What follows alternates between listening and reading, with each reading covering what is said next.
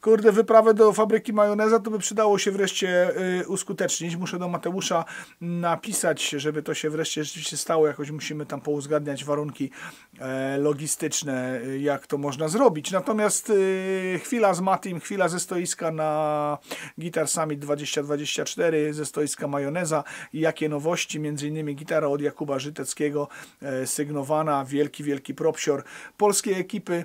Wszystkie zostały przeze mnie owy, owywiadowa, owywiadowane, e, więc generalnie to dziękuję patronom za to, że mogłem tam pojechać. Dziękuję za to, że wspieracie. Jedziemy z odcinki. Dobra, kolejni. Kolejni wcale nie ostatni, a bo Tak. kolejni wcale nie ostatni. E, jeszcze, jest, jeszcze jest nas tutaj dużo. Polacy na Guitar Summit, polska reprezentacja podbija Niemcy. E, majonez, który już dawno Niemcy podbił pewnie. No, Kurde, może Jak to- troszkę, jak to może troszkę. E, słyszałem jakieś takie newsy, że w ogóle macie jakieś coś super nowego w ogóle i że to tylko na tych targach. Co to tam jest i gdzie to jest? nie? Dobra, nie aż tak, ale coś nowego mamy faktycznie. E, wiesz co, ja, e, zaraz wracam. No, Mamy takie cudo. a dobra. E, sygnatura Kuby Żyteckiego. No E, właśnie, właśnie, no. Że tak powiem dla Twoich widzów, bądź też wszystkich Polaków dumnych, wszyscy powinni wiedzieć, kim jest Kuba Żytecki, a jak Wszyscy nie wiedzą, być dumni z Kuby to Żyteckiego, powi- nie? jak ktoś nie wie, to proszę się doedukować. Wybitny muzyk, No. genialny gitarzysta. Będzie tutaj z nami? Nie. będzie, będzie, jutro i pojutrze, tak. Okej. E, więc Kubuś jutro chyba ma, mas- nie, w niedzielę ma masterclassy, a jutro grał na stoisku. No rozumiem. Ale niemniej jednak. E, instrument. Bardzo prosta specyfikacja, jesion, zupełnie nowy kształt, czyli offset. Jaguarowato, mustangowato, nie wiadomo jaki. Nasz sam, e, że tak powiem, e, kształt nawiązujący do klasyki, ale oczywiście przerobiony na troszeczkę tyle, że też, tak, tutaj tak. jakieś podebrania, takie inne rzeczy, monolit biały, Mhm. e, pieczony gryf klonowy, pieczona podstolnica klonowa, tak zwana oczkowa po polsku. Czy dobrze mi się wydaje, że to jest też trochę nowy kształt główki dla Nie, majoneza, główka- wzięty z basów trochę? Nie, on to jest to samo Nie, co na nie. A, dobra, to, To ja tego to jest- też nie widziałem. no to zaraz bo- będziemy- no zaraz właśnie, będziemy no gadać właśnie, na ten właśnie, No. Więc y, mamy tak, no oczywiście wylaserowany podpis musi być, bo jak żeby inaczej. Y, osprzęt Gotocha, czyli mamy mostek i klucze i nasze pick-upy, z czego ten pick-up to jest pick-up sygnowany Kuby, bo to jest y, typowy telecaster, ale jest, jak to się mówi po polsku? Bezszumowy, o, to jest odpowiednie słowo. Czyli mamy bezszumowego singla, którego możemy rozłączyć sobie jako push-pull i wtedy działa jak tak naprawdę to jest po prostu inaczej Wtedy z- dodaje- zestakowany humbucker, wtedy się nie? dodaje trochę tego brudu, jak się Dokładnie go rozłączy. tak. Jak się go rozłączy, to zaczyna chce, takie to typowe, było, tak? vintage'owe brzmienie, to wtedy jak najbardziej może, mhm. tego, może coś takiego ukręcić. I dodatkową rzeczą jest nasz preamp, który się załącza mini switchem, można dodać jego intensywność. To jest coś kompresoro, saturatoro. Czy to jest Taurus Servo? Yy, To jest bardzo podobne urządzenie do Taurus Servo, ale nie, żeby nie było. To jest ważne. To nie jest dokładnie to, ale oczywiście znamy się z Adamem i robiliśmy coś razem, ale Rozumiem. nikomu ani słowa. Yy, Więc jest troszeczkę zmieniony, ale bardzo działa na bardzo podobnej zasadzie, tak? I to jest tak naprawdę tyle. Z nowości no oczywiście kształt, Czyli jest to, jest to konstrukcja oparta o Taurusa Servo, Trochę tak, dokładnie specjalnie tak, dla dokładnie- Was z Adamem, dokładnie no bo tak. na pewno się znacie, No, Trójmiasto trzyma się razem. Wiadomo. E, więc tak to wygląda. No i naj- największą nowością oczywiście jest kształt. E, I no jakby wiadomo, no Kuba, no sorry, no. Czy to jest kształt, który Kuba sobie wybrał dla siebie, czy to jest kształt, Tak. który Wy mu zaproponowaliście, Yy, czy jest to kompromis pomiędzy To jest kompromis pomiędzy jakby pod Mhm. na, naszą wizją i tego, co on chciał, bo ogólnie rzecz biorąc ten kształt na pewno będziemy wprowadzać do naszej oferty jako model, który będzie można sobie skustomizować. Zaczynamy od sygnatury, a dopiero później będziemy wprowadzać Aha, model. czyli to nie będzie tak, że ten kształt będzie tylko Ty- dla Kuby, nie, będzie... nie, prędzej czy później będzie dostępny na zasadzie, że będziesz chciał sobie wybrać inny top, inny kolor, no to wtedy oczywiście będziemy Jak się e, będzie w takich nazywał kwestiach działać. wtedy? Czy on się E, nazywa on się nazywa Żytec? Jasper. Jasper, tego jest tutaj, tak, I dokładnie. zawsze się będzie nazywał Tak, Jasper? wersja Kuby nazywa się Nidra, Aha. e, a model jaki będzie finalny to się tak naprawdę okaże, bo to jeszcze dopiero przed nami. Prawdopodobnie jak się wszystko dobrze uda, gdzieś w połowie przyszłego roku powinniśmy mieć e, gotowy model taki, który będzie customizowalny. Nie wiem, czy jest takie słowo po polsku, ale No, ale wiadomo o co chodzi. Jest jak no. jest. Jak to Więc to powiedzieć, jest- ty, jak to wygląda inaczej Kas- po polsku? nie mam nie? pojęcia. to E, więc, dobre, nie? co dalej? Tutaj Akila to Akilą, ale chyba zaczniemy od tej. Ta jest dużo ciekawsza. Czyli Ta mamy... Już, ta już na wielu targach była. Tak, dokładnie, trochę, trochę świata objeździła. Nie, E, w dużym skrócie, e, dostawaliśmy, od kiedy zaczęliśmy wprowadzać model Aquila na rynek, on zaczął być coraz bardziej popularny, dostaliśmy zapytania, a fajnie by było, gdyby można było ją trochę pobijać, nie? Aha. E, Więc mamy tutaj nowe wykończenie dla nas, bo nie tylko oczywiście jest wykończenie relikowo, age'owo, nie wiadomo jakie, jak to się nam, każdy nazywa to inaczej, po prostu jest poobijana i porysowana, ale co najważniejsze, wykończenie nitro. My normalnie robimy poli, poliuretan albo tak, wy- wykończenie nitro, więc ono ładnie nam będzie pękać, ładnie będzie nam odchodzić, daje to fajny efekt, a tu przy okazji jest bardzo ładnie, bo to jest jeszcze, nie wiem czy będzie widać, ale może będzie widać fajny Piękny gryf. klon falisty. no. Dokładnie tak, pieczony. Mamy podstronnicę niepieczoną w tym przypadku. E, bo tak została przygotowana ta konkretna specyfikacja pod zamówienie klienta. Nie każdy to lubi, ja na przykład uważam, że to nie wygląda dobrze, bo mamy dwa różne kolory, ale Nie, są ludzie, dlaczego? którzy preferują Spoko. takie rzeczy. Nie, spoko, może być. Nie przeszkadza to w niczym. Dokładnie Czy ja dobrze tak. usłyszałem, że wy zaczęliście robić swoje własne pick-upy? Dokładnie tak. W każdej gitarze, znaczy w każdej, tak, w każdej gitarze, która jest za nami, są nasze pick-upy. Pick-upy robimy u nas w firmie, one nie są outsourcowane, nie, nie robimy ich gdzieś gdziekolwiek. Mamy swoje maszyny do nawijania, swoją technologię, swoje własne pick-upy, one są zwojsowane tak jak my chcieliśmy, żeby one brzmiały. Na ten moment mamy dwa, trzy sety tak naprawdę. Mamy set y, Kubusia, mamy set humbucker dwa single i mamy set dwa humbuckery e, w dwóch różnych e, voicingach. Tak bardziej nowoczesny, trochę z większym sygnałem i trochę bardziej vintage'owy, który jest właśnie w tej Akili. Czy to są pick-upy, które są tylko do waszych gitar, czy można Na- je również na- sobie kupić osobno i włożyć sobie Takie, do swojej takie jest założenie. gitary? Na ten moment są dostępne w naszych instrumentach, ale od początku przyszłego roku będą dostępne po prostu w zakupie. Każdy będzie mógł taki pick-up oczywiście do swojej gitary Mhm. zamontować. One będą miały uniwersalne montaże, więc będzie można zamontować czy w ramkach, czy w płytce, czy do deski, nie ma znaczenia. E, Będą na pewno dostępne. Musimy się po prostu przygotować z naszą produkcją do naszych gitar, żeby potem mieć zapas, żeby ewentualnie je oferować e, do zakupu w przyszłości. Ale relikowane gitary nie dla każdego, nie każdy lubi, ale stają się coraz Nie, bardziej popularne. to bardzo ładnie, bardzo fajnie. To nitro, wiesz, zawsze nitro robi i tu jest taka prawie, prawie oprócz tej czamy, to jest taka prawie cała półeczka, wy tego Dokładnie nie, tak. Nie, To- troszkę tam ta jeszcze jest, o tutaj, o, o, ta jest tylko jeszcze różnica, bo ze złotym osprzętem. Tak jak ktoś lubi złoto, ale skromnie, to może, nie? Tutaj no, mam też już wytarte te pick-upy takie Tak, fajne, wiesz, dokładnie tak. przetarte To są- ten- przetarte puszki, mamy złoty, no tak jak mówię, osprzęt Gotocha, tak? W tych modelu, w innych modelach mamy osprzęt Hipshota, e, ale też d- dwa nasze humbuckery na płytce, e, tutaj też jest pieczony gryf, ale już nie, e, nie Co falisty. spowodowało to, że stwierdziliście, że już czas na wasze własne przetworniki? No bo nie da się ukryć, że to jest zawsze taki, wiesz... To jest trudny temat. Kaczer jest taki, że zawsze tam sobie ktoś... I tak wymieni, i tak wymieni, nie? Znaczy nie, inaczej, na, tak- na takiej zasadzie, że wiesz, jak już jest jakiś pick-up firmowy, no to już w głowie tego gitarzysty jest, że to już jest dobry pick-up, a to nie jest sobie tak łatwo przekonać, Tak. że jak nie ma napisane Tak. na nim Seymour Duncan, Albo Bernacle, albo czy tam tak. cokolwiek innego Fishman w tym momencie, to że to teraz jest, to teraz jest dobry pick-up. Prawda, skąd prawda, ten jest, ruch tak naprawdę, prawda jest taka, nie? że ogólnie rzecz biorąc, jak się spojrzy na historię firmy, no to pick-upy robiliśmy, znaczy my, pani Halina, czyli szefowa, No. już w latach 80., tak? No Więc jakby tak. to jest trochę zatoczenie koła i powrót do tego, że znowu robimy pick-upy. I prawda jest taka, że przetworniki według mnie z całej, całej branży muzycznej są najbardziej subiektywną rzeczą, jaką można wybrać. Mhm. Ktoś będzie lubił Bernakle, to będzie lubił Bernakle. Będzie mógł wymienić te pick-upy na Bernakle. Ktoś lubi Seymory, to będzie miał Seymory. To jakby, to jakby nie ma nie ma konkretnego dobrego rozwiązania. Nam zależało na tym, żeby jakość tych pick-upów pasowała do jakości naszych instrumentów. I teraz, czy one się komuś będą podobać, y, podobać i będzie chciał ich używać, czy nie, to już jest poza nami. To już jest bardzo subiektywna opinia. Chodziło o to, że pandemia nam bardzo dużo pokazała, jak jesteśmy bardzo uzależnieni od naszych dostawców i ich terminów. I jakby z całą moją miłością do Bernakla, rewelacyjne pick-upy, ale mieliśmy na przykład bardzo duże opóźnienie ze względu na to, że oni mieli problemy związane z pandemią, tak? I jakby tutaj to trochę nam zapaliło tą, tą lampkę, bo o pick-upach myśleliśmy już od lat, tylko po prostu trzeba było poczekać na odpowiedni moment i odpowiedni czas. Yy, I akurat tak się złożyło, że no w tym momencie jest, jesteśmy gotowi, mamy wszystkie maszyny i możemy po prostu robić na własną rękę, ale dało je nam to też tą możliwość, że mamy coś wyjątkowego, bo ten pick-up nie brzmi jak inny pick-up, nie? Jak się włoży Juggernauta do czterech różnych gitar, one wszystkie będą brzmiały jak gitary z Juggernautem.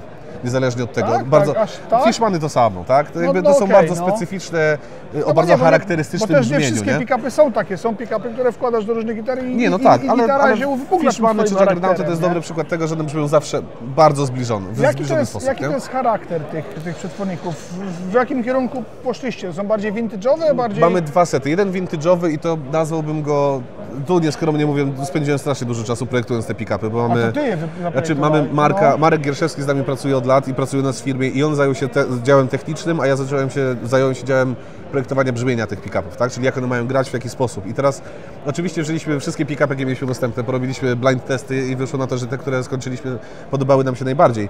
Ale sytuacja jest taka, że to po prostu zajmuje mnóstwo czasu i mamy dwa sety. Ten, który wchodzi do Akili standardowo jest bardziej vintage'owy, nazwałbym go e, SH4 Seymoura, ale na sterydach. Ona jest taka charakterystyka niezbyt ostrego pick-upu, bardzo łagodnego, ale fajnie wypełnia brzmienie. Bardzo fajny, jak ktoś lubi grać, nazwijmy to lżejszą muzykę, albo taką popowo-rockową. SK4 to nie jest pick-up do, do lekkiego Ale, grania, ale no, to, nie, można robić wszystko. No. Korn całe życie gra na SK4, tak?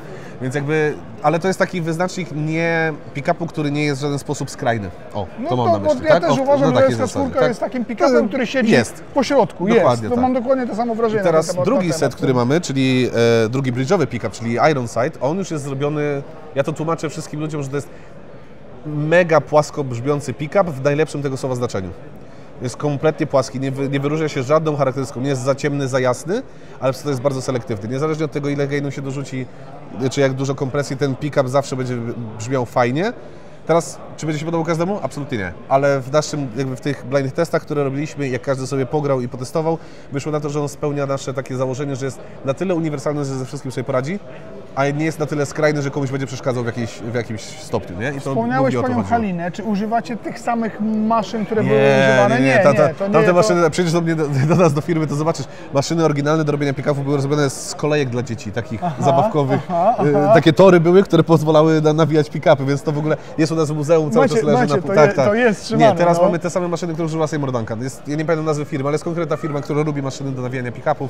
Mamy dokładnie to samo, więc jakby ten jakby, tak jak mówiłem, no, zależało nam na to, że jakość tych pick-upów jakby pasowała do jakości naszych instrumentów, no bo to musi być kompletny jakby package, nie? Jak to mówią rozumiem, Amerykanie. Ta Agila nie musi być e, taka, że tak powiem, z płytką, że tak to nazwę. Nie, nie, mamy też Może wersję też być tak. wersja bezpły, to- bezpłytkowa. To w ogóle jest ciekawa wersja, bo to jest nie dość, że bezpłytkowa, to jeszcze ze stałym mostkiem. Mhm. Mamy Hipshota, nie Gotocha, to też jest jakby jedna z wersji, którą oferujemy. E, tak jak na wszystkie inne gitary przyjmujemy customowe zamówienia, modele w tym wykończeniu e, aged, tak, czyli tam postarzanym czy poobijanym, robione są przez nas jakby w ogry- jakby ogra- ograniczonej liczbie sztuk i oferujemy, kiedy one są dostępne. Jakby nie przyjmujemy zamówień upfront, ze względu na to, że to po prostu jest troszeczkę inny proces produkcyjny niż piękne quilty, No flame'y tak, i nie tak. wiadomo co jeszcze, Aha. tak? Więc po prostu robimy to wszystko naraz, mamy różne poobijane gitary i wtedy oferujemy je do sprzedaży. Standardem jest na pewno jesionowy albo olchowy korpus, pieczony jesion albo pieczona olcha, no i pieczony klon. Albo palisander, albo klon na podstawnicy. To jest jakby... I wtedy mamy 3-4 kolory różne i tak to wygląda, nie? Skąd się wzięło to pieczenie tego drewna? To, A, o- to jest- Opowiedz o tym, bo to jest, wiesz, to jest mega modne, mega ostatnio używane, wiesz, Jest od, cie- od tanik do drogich gitar, bardzo- wszyscy robią tak. pieczone, pieczone wszystko To w jest, tym momencie, to jest nie? bardzo, bardzo ciekawe. Pieczone bo... pick-upy jeszcze Tak. tak. zacząć robić. nie? A to ktoś robił, e, Music Man robił, nie? W Kaizenie, mrożone tak, w tak, jakimś mrożone tam... pick-upy, pieczone i mrożone Znaczy, pick-upy. wiadomo, no. a czy o co chodzi? E, My robiliśmy z tego, co ja wiem, bo to jeszcze było dużo przed tym, jak ja przyszedłem do pracy w majonezie. E, Pierwsze... Ty tam pracujesz? Z 10 lat już prawie. No, to to jeszcze było jeszcze wcześniej. Pierwsze tak zwane nasze TEW, czyli piękna amerykańska nazwa Tonally Enhanced Wood. E, To był projekt, który był wspierany poprzez dotacje Unii Europejskiej i był w współpracy z w Uniwerkiem chyba we Wrocławiu. I założenie było takie, że bierzemy drewno i z tego drewna e, sprawdzamy, co się za jak się upiecze, e, tak naprawdę z węgla. I to było zrobione tak jak mówię, 2010 rok czy coś takiego, nikt tego nie chciał. Absolutnie. To u nas było w ofercie, tam czasami ludzie to zamawiali, nikt tego nie chciał. Od ostatnich pięciu lat wszyscy chcą tylko pieczonki. Więc jakby, co to zmienia? E, semantyka i temat, temat rzeka. E, Na pewno drewno jest trochę lżejsze, na pewno jest mniej wilgotne w cudzysłowie, tak, no bo wiadomo, że to jakby wszystko z tego materiału wyparowywuje, przez co może rezonować trochę inaczej.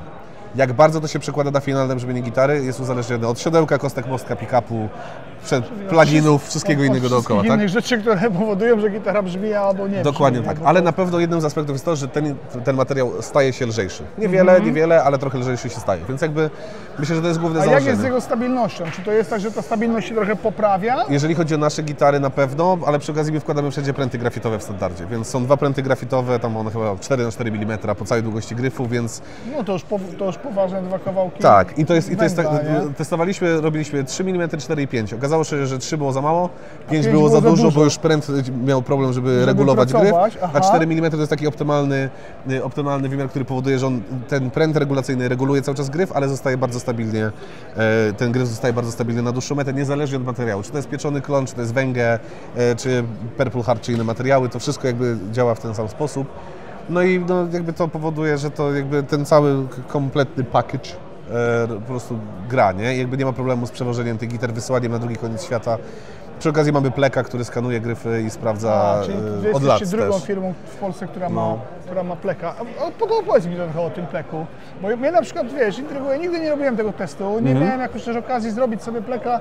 Nawet myślałem o tym, czy kiedyś czegoś takiego w ogóle nie zrobić Mhm. dla samego siebie, że zrobić po prostu szlif, wiesz, własnoręcznie Mhm. i sprawdzić się I sprawdzić się na, na pleku. No ja i tak co? Zrobiłem. Ja tak zrobiłem, jak tylko przyszedłem do pracy w majonezie, jeszcze nie miałem wszystkich swoich majonezowych gitar, tylko inne, No. nazwijmy to w ten sposób.